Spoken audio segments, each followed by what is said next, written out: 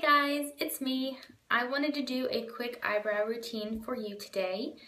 Um, it is quick because I really have dark eyebrows to begin with, so there really isn't much of a routine. First thing I do is I start with our um, Prim eyebrow pencil. Well, it's really just an eye pencil, but you can use it in your eyebrows as well. And I just go on the inside. I don't try to outline the outside of my brows because they are already there. So all I'm doing is filling it in and helping it to look more full.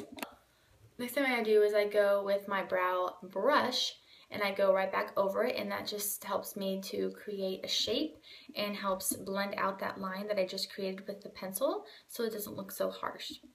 The next thing I do is I take our concealer brush and I'm going to use our Curious, which is a light shimmer color and that's just going to go right underneath my brows and that is just going to help open them up and help to create more definition in them. The last thing that I do is maybe a tip or maybe a secret, I don't know, but it is hairspray. I just use this on my fingers. I spray a little on my fingers and then I go right over my brows and that helps them stay for the rest of the day. So that is my brow routine.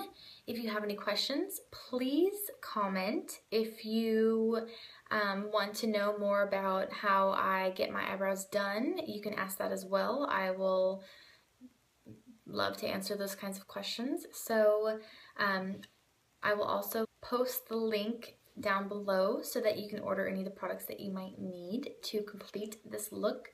Have a wonderful afternoon. Bye.